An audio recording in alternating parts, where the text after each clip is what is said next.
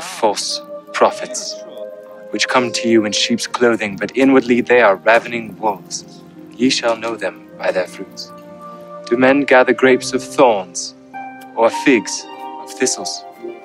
A good tree cannot bring forth evil fruit, neither can a corrupt tree bring forth good fruit.